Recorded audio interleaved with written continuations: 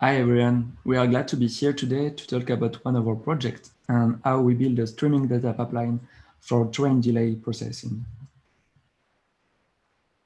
Um, my name is Alexandre Berger. I'm a data architect at Itnovem, which is one of the IT branch of SNCF, working on the digital transformation of the group. Uh, I'm accompanied today uh, by Haola Gribi, data engineer working with me on several projects. Um, so we were uh, looking for a long time uh, a streaming use case uh, in our team. And today we are glad to share with you uh, how we provide qualified data using Spark Streaming and Delta to other entities of our companies and how we build our pipeline in a few weeks with a, a small team. So SNCF is a French train company and one of the biggest in the world. There is more than 270,000 employees, making possible than 14 million people are traveling the 15,000 trains every day. Under Itnovem, we are working at Data and AI Factory, uh, which is aim goal is to accelerate innovation at SNCF. For that, we are centralizing the project of the different entities and helping them to extract value uh, from their data. So we are supporting teams from modeling and conception to the industrialization of their solution.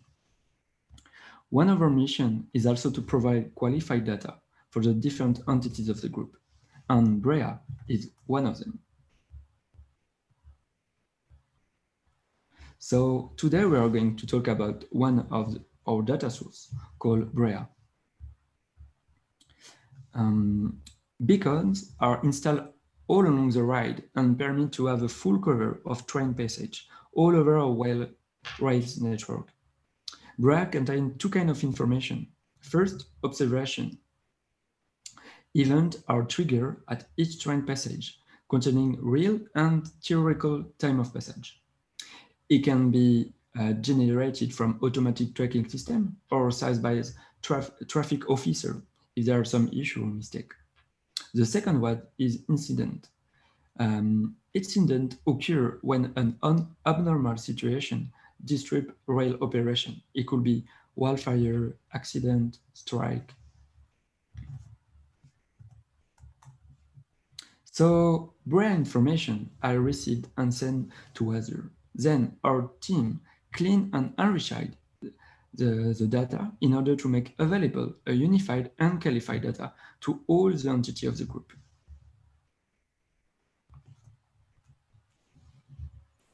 So during a project, there are two main um, goals. The first one was to build a real-time data processing to monitor traffic and map the propagation of train delay. The second one was to expose the output of our data in the best way depending on the consumer, Power BI, REST API, or directly in data flight through the data lake.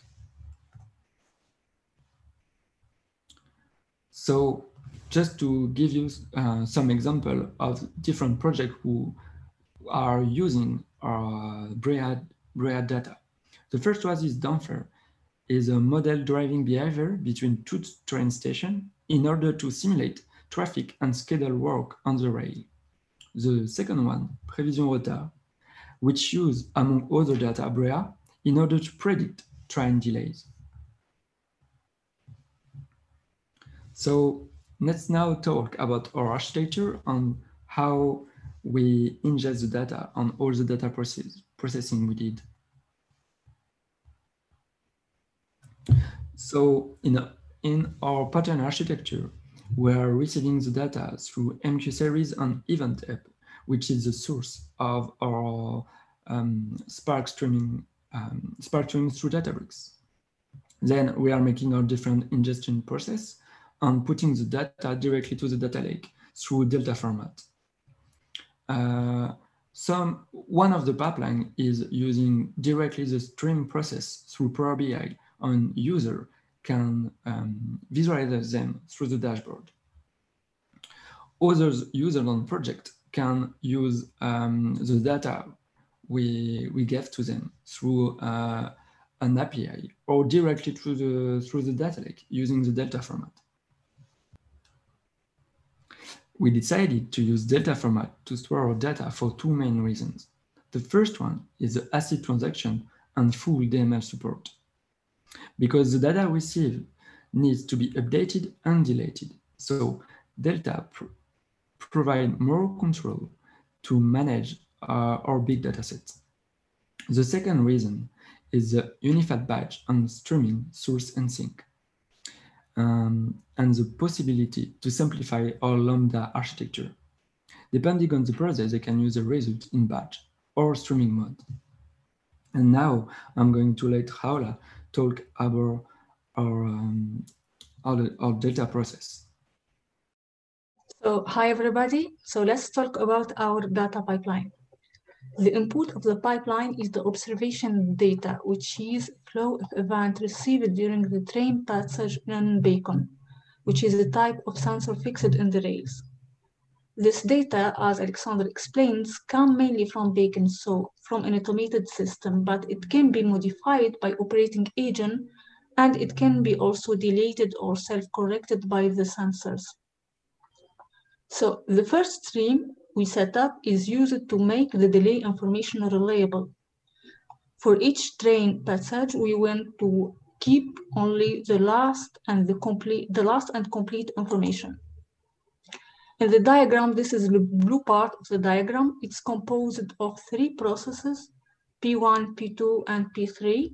P1 is a data quality management process we applied rules that reject the rows that do not uh, bring a value, like rows with an empty circulation that times.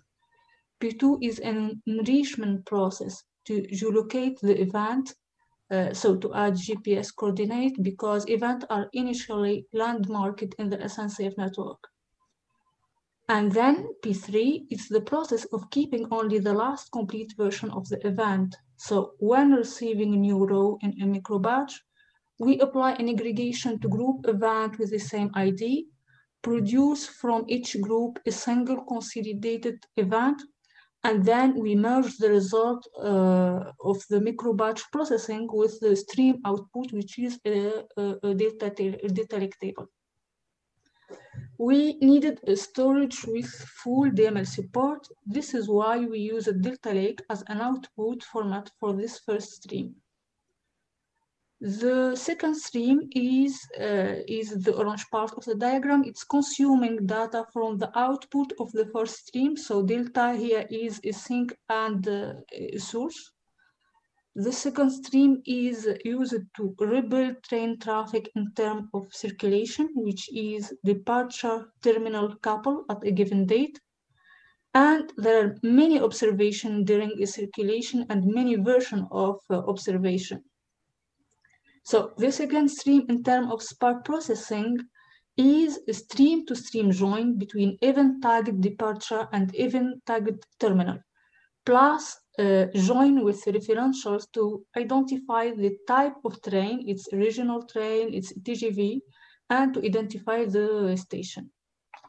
So as you can see, we split our processing, our processing into two streams and we added a silver table so it comes from two limitations that we faced with Spark streaming. The first is that sequencing aggregation is not supported in structured streaming, and our code was designed from the beginning to respect this constraint. That's why we have two separate processing blocks separated by a disk write. The second uh, limitation is that some writing mode is not supported, uh, supported after stream to stream join. So writing mode in update uh, mode after stream to stream, uh, writing in update mode after stream to stream join is not supported today in Spark. Spark streaming, that's why we used an intermediate table, the silver one. We wrote in this intermediate table in append mode, load load it and then uh, save rows uh, in append mode. So let's do a quick demonstration here. In the development phase, we use notebooks to implement and run our data processing. we used one notebook per stream. Each stream has a dedicated cluster. So this is the first stream, observation with observation cluster. The second one is the circulation silver with dedicated cluster as well. And same for the third one. Those clusters have different configurations. The stream that I'm showing run 24 hour consuming the event hub and writing in two gold delta table. Stateful transformation which require the use of state store are bounded with watermarks and temporal join constraints. So watermarks values are defined using a representative data sample. As you can see here, we have used a watermark of 15 seconds, allowing late data to be integrated in the aggregation result. And we added a max buffer time of 6 hours in the stream-to-stream -stream join. Notebook mode helped us to quickly produce results.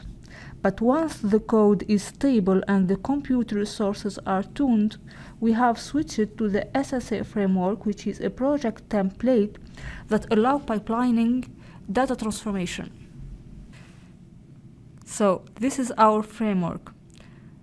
The whole project, as you can see here, in the main function is a pipelining of a set of transformations that are described in the transformer package here. This framework allows to focus on functional needs by describing the transformation without bothering about pipelining, monitoring, logging, which are integrated into the framework. The framework as well makes it possible to push certain best practices such as static type safety with the use of datasets. It integrates as well wrapper over different format of readers and writers. So one of the goals of this use case is to share visualization showing the propagation of train delays. The visualization tool that we are using is Power BI, and our goal table is in Delta format. We needed to connect Power BI to Delta, Delta Lake. So how to do it? We have two existing solutions, which are the Spark connector and the Simba connectors. The Spark connector is natively integrated into Power BI, but it suffers from high latency. The Simba connector is not native and it suffers from poor integration with Power BI. Databricks have introduced a new connector last September, which is the Azure Databricks connector, and this is the solution that we are using this project. It's native and we did not notice uh, a high latency which can be easily seen by an end user. So what we want to give to an end user are board of this type, showing the state of the trains when passing over a bright sensors.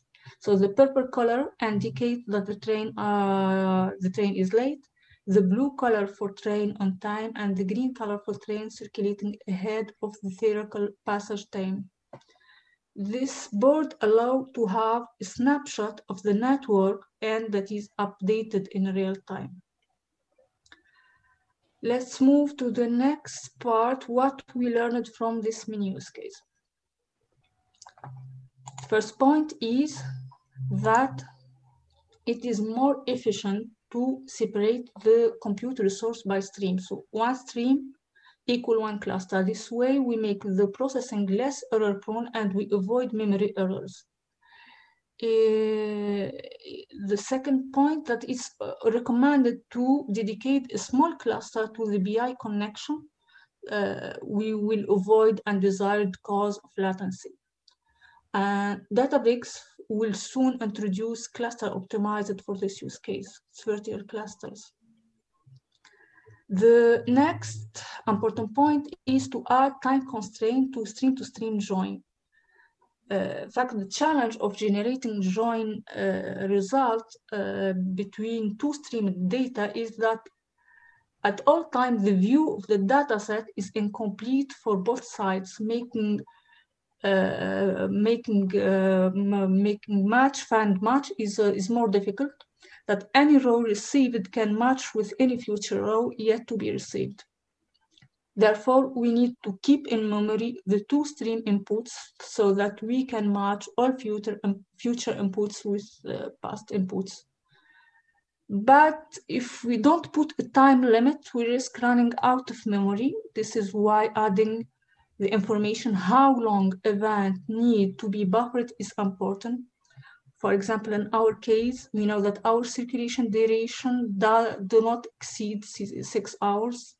So we set max time between the reception of event tagged departure and event tagged terminal to six hours. The last point is watermarks for aggregation and some type of operation like drop duplicate. We should limit uh, the time to keep the state in the state store with watermarks and uh, watermarks value depend on, data. So what's next?